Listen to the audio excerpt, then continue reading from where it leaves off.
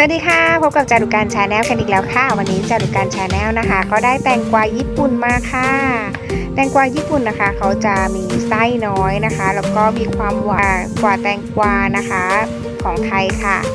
ตัวนี้นะคะเราได้มาแล้ววันนี้เราจะมาทำแตงกวาดองซอสยูซุค่ะ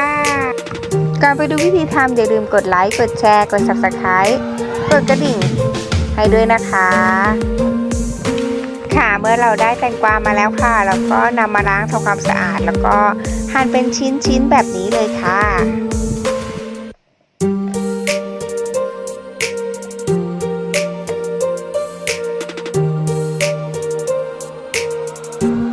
นำเกลือป่นครึ่งช้อนชามาใส่นะคะ แล้วก็คลุกเคล้า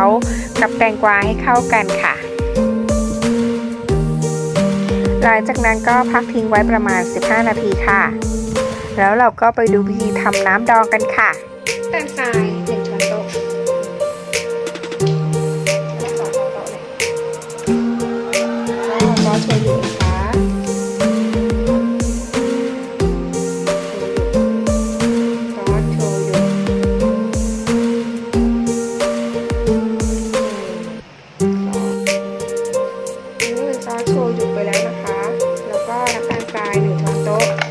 ซอยุสามช้อนโต๊ะ ต่อไปก็คือแอปเปิ้ล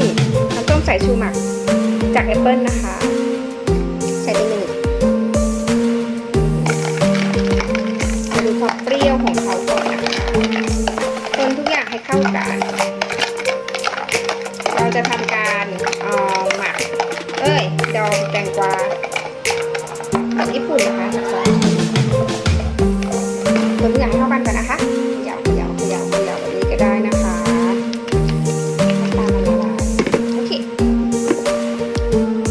ย่าพอสมควร เราก็ใส่ตัวแตงกวาของเราไปค่ะ ไปดองเลยใส่ทุกอย่างลงไปนะคะในนี้แตงกวาที่ล้างแล้วแล้วก็เขย่าโอเคทิ้งไว้ในตู้เย็น 3 ชั่วโมงค่ะแล้วก็เดี๋ยวมาทานกันค่ะหลังจากเราทิ้งไว้ในตู้เย็น 3 ชั่วโมงนะคะ หรือมากกว่านั้นเราก็นำออกมาทานได้เลยค่ะ นี่นะคะหนังแตงกวาดองของเราก็เสร็จแล้วค่ะ